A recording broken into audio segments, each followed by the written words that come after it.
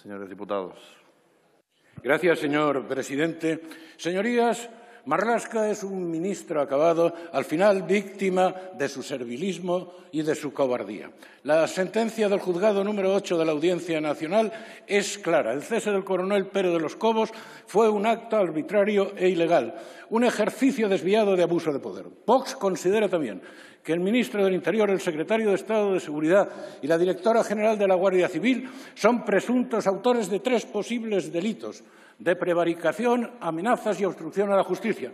Y hemos interpuesto ante ellos querella eh, en el Tribunal Supremo.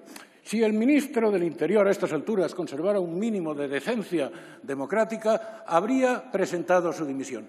Pero el ministro del Interior se niega a ello y cuenta de momento con el aval del presidente Sánchez. Y por eso es imprescindible que esta Cámara repruebe al ministro y exija a Sánchez su cese.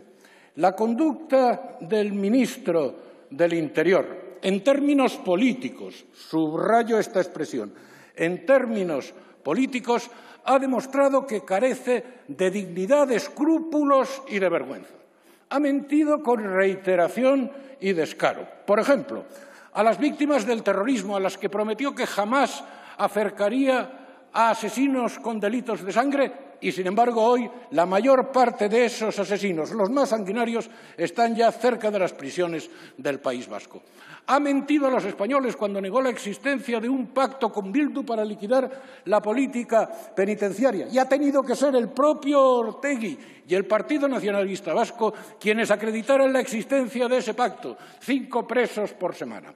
Ha mentido afirmando que todos los traslados se hacían siguiendo criterios técnicos y muchos de ellos se han hecho en contra del criterio de las juntas de tratamiento. Y ha mentido cuando dijo en su momento que no estaba en su agenda el traspaso de las competencias penitenciarias al Gobierno vasco y ese traspaso se formalizará en los próximos días. Pero mintió también cuando aseguró que no había dado órdenes a la Guardia Civil para espiar a los españoles en las redes sociales durante la pandemia y cuando trató de desvirtuar las declaraciones del general Santiago diciendo que eran simplemente un mero lapsus y al día siguiente distintos medios de comunicación publicaron esas órdenes de servicio.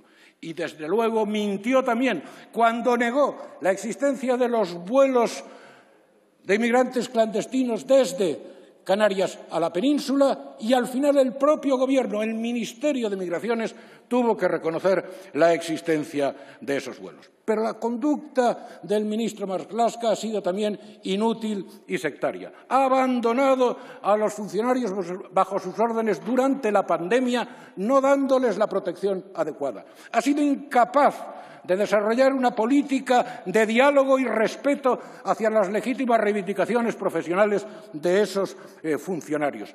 Ha producido nombramientos y ceses por fobias y filias políticas, cuando no por meras rabietas como el cese del coronel Sánchez Corbín. Y al final ha sido incapaz de garantizar la seguridad de nuestras fronteras y la seguridad de nuestras calles, especialmente en los barrios más humildes, que son los que padecen más gravemente ese efecto de inseguridad. Para colmo de remate, en los últimos días ha tratado de avalar la invasión del domicilio sin mandamiento judicial y ha justificado la violencia ejercida contra Vox poniendo además en riesgo a las dotaciones policiales intervinientes que no les ha permitido actuar con carácter previo como tampoco lo hizo durante los altercados con motivo del encarcelamiento del delincuente Hassel. En definitiva, el ministro del Interior ha demostrado que es un peligro para la seguridad y la libertad de los españoles, un obstáculo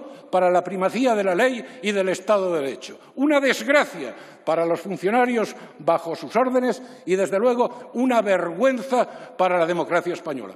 Por eso, el ministro del Interior tiene que ser reprobado inmediatamente y exigirle a Sánchez su cese, por razón de ejemplaridad y de higiene democrática por razón de decencia política. Nada más y muchas gracias. Gracias.